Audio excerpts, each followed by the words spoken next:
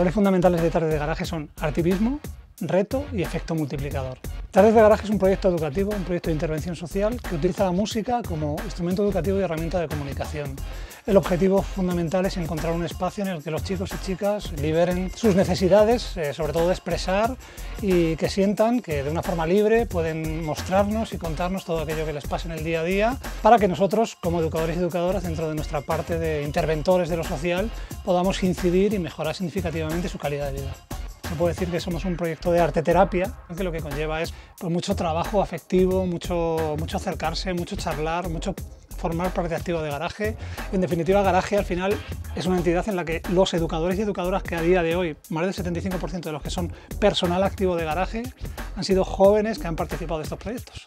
Entonces, también se nos ha cumplido ese mantra. ¿no?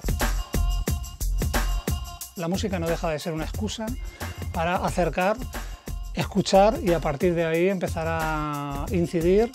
Son infinitas las posibilidades que da el rap, infinitas las problemáticas con las que nos, nos encontramos. ¿no? Y al final, pues nuestro objetivo como educadores sociales es buscar no tanto una solución como una forma de acompañarles en ese proceso de crecimiento sí he notado bastante lo que ha sido mi evolución desde el momento en que empecé, en cuestión personal y artística también. Y entonces, pues claro, ya más o menos dos años aquí ya es como mi familia de por sí. Entonces hemos compartido de todo tipo de experiencias, que bolos, conciertos, videoclips, talleres, de todo. Cantar junto a artistas, colaborar con ellos. Entonces pues es como un sueño ciertamente. El perfil de chicos y chicas es diverso. ¿no? La forma de entrar en garaje pasa desde el boca a boca hasta derivaciones de chicos y chicas por parte de instituciones, centros, desde pisos tutelados hasta centros psiquiátricos que, nos han derivado chicos o chicas que en un momento determinado han encontrado en el rap, en la música, una forma de expresar. ¿no? Una y la única forma de expresarse. Me siento que mi persona ha cambiado, o sea, obviamente no soy el mismo hace dos años, he aprendido muchísimo, hemos vivido cosas. Todos los sucesos que han pasado aquí, pues me han aportado muchísimo a lo que es mi vida diaria y mi autoestima, mi moral, todo, ¿sabes?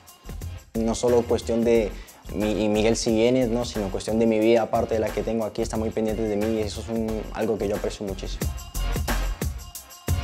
Este premio básicamente lo que va a permitir es, primero, que nuestra intervención a nivel cuantitativo y cualitativo sea mejor, que llegue a muchos más jóvenes, poner una mayor logística al servicio de los chicos y chicas y, bueno, en definitiva, conseguir que este proyecto tenga una dimensión muchísimo mayor, ¿no? invertir en educadores y educadoras y, obviamente, utilizando el activismo con efecto multiplicador.